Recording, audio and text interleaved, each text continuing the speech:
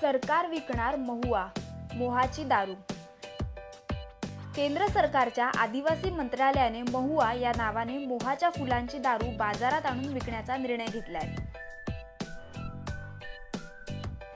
आदिवासी सहकारी व्यापारी विकास फेडरेशनचे कार्यकारी संचालक प्रवीण कृष्ण यांनी सांगितलं की बकार्डी कंपनीची ब्रिजर ही सौम्य दारू आहे. तशा प्रकारची सौम्य दारू म्हणून महुआची विक्री केली जाणार आहे. यासाठी फेडरेशनने आय आय टी दिल्लीशी करार केला आहे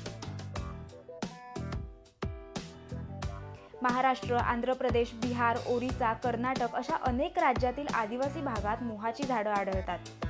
मोहाच्या झाडाला लॉगिफोलिया किंवा बटर ट्री असं नाव आहे.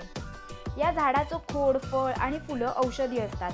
आदिवासींच्या घराघरात ही फुलं गोळा करतात. काही जण ही फुलं विकतात जामपासून साबणापर्यंत अनेक गोष्टीत याचा उपयोग होतो. आदिवासी ही फुलं गोळा करतात आणि ती सुकवून त्याची दारू बनवतात. ही प्रक्रिया अत्यंत सोपी असल्याने घरातच दारू बनवली जाते. या दारूत कोणतंही रसायन मिसळलं जात नाही त्यामुळे ही केवळ फुलातून बनवलेली शुद्ध दारू मानली जाते.